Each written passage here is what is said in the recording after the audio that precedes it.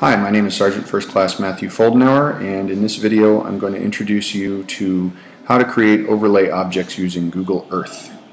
And for the purposes of this, I have created a spot report, which we're going to use. This could appear in any op order or intelligence annex or uh, scenario-based uh, X, or basically it's just meant to provide you with data for creating this area of interest on your map. So as you can see, we have a platoon-sized dismounted enemy patrol establishing a combat outpost, and it gives you four grid coordinates. Frequently, uh, these areas of interest can encompass a lot more grid coordinates, but we're going to keep it simple and just give you four. And as you can see, they're emplacing a 60 millimeter mortar, and so that gives us some more information for choosing a custom graphic, which I will show you how to import. So the first thing we're going to do is we're going to go into Google Earth and we're going to search for these grid coordinates. So again, they were six, if you look at what it gave you, six digit grids, we need to convert these to 10 digit grids because Google Earth won't look for six digit grids. Now if you type in 17 Sierra space, Lima Sierra space, 93600, 9, excuse me, 96600, and you search for that, it's going to bring up all these addresses. Okay. And that's because that 17 Sierra looks like an address. So if you take the spaces out,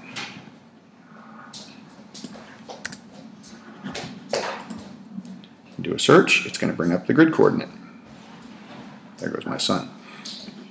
Okay, I'm going to actually delete that other search term just to keep my search area clean. There's the first grid. Now we're going to enter in the other three grids, 93500, 96500,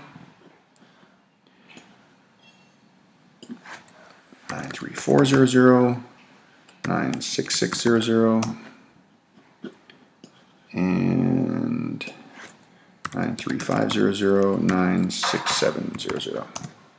Now if we check all four of those search results, you can see that it defines a small area in the woods where our bad guys are setting up their 60 millimeter mortar. In order to create an overlay from this, with all of them selected, we click on the Add Polygon tool and it brings up this new polygon window. We're not going to mess with the window just yet. We're going to click on all four of these corner points as accurately as possible using the new crosshairs that it gives us for our cursor. And it creates a white square. Not too terribly useful. The first thing we're going to do is rename that. We're going to call that spot report 1. Or you can give it a date time group or anything else that you like. Go to the style and color and we'll change the area fill to say red for bad guys and we'll change the opacity down to say 30% so that you can see the terrain through it. Okay, and that by itself is going to give you your area. In addition to that, you might want to put a graphic in that area.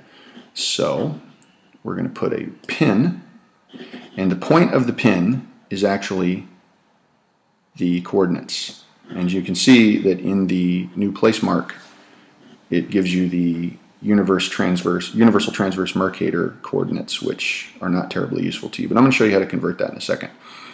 Um, this little square up here is to select your icon. All of these are the stock Google icons, but you can add a custom icon. And I just happen to have gone into a really useful website I'm going to show you in a second and created one. And that is a 60 millimeter mortar.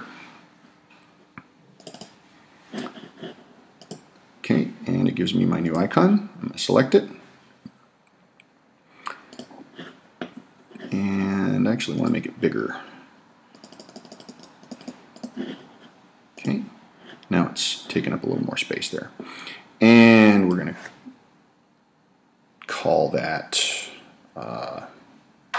nothing. I'm just going to delete the title. And we'll give it a description. We'll say 60 millimeter mortar and vicinity 17 Sierra Lima Sierra 93600 96600. Okay, and it drops it. Now we can clear all these search results, and there you have an enemy position. And if you click it, it'll bring up the intelligence, and the overlay is highlighted. Uh, if you want to find more of these graphical overlays, you can look at this website, https colon slash slash rdl.train.army.mil. All of that stuff right there. I'll put it in the description so that you can hopefully copy and paste it into your browser. And it's a table of contents for all of the different symbols that you could use. So if you go to equipment symbols, for instance, which is where I got this, you can scroll down and find any kind of equipment you want to put, say a surface-to-surface -surface missile launcher, friendly, enemy, blah, blah, blah. You can cut that out using whatever photo editing software you have, and you can insert that graphic into the overlay. So, now let's say that the area that that weapon system is going to be threatening is over here at the Youth Challenge Academy at Fort Gordon, Georgia, because uh, the enemy has a real problem with troubled youths. So we want to create a overlay here for where the impact area might be, or maybe that's a friendly fob or whatever. Um, without the coordinates, what we can do is we can hover our mouse, actually we can drop pin, and it uses the last icon we use, so don't worry about that. We can change that. But we center it, and it gives you the UTM grid coordinates here. Now using those, we can go into this website, convert coordinates, earthpoint.us, www.earthpoint.us slash convert.aspx. And it has this calculator that you can use to figure out what your position on the Earth is. We're going to copy and paste these coordinates one chunk at a time into this position field.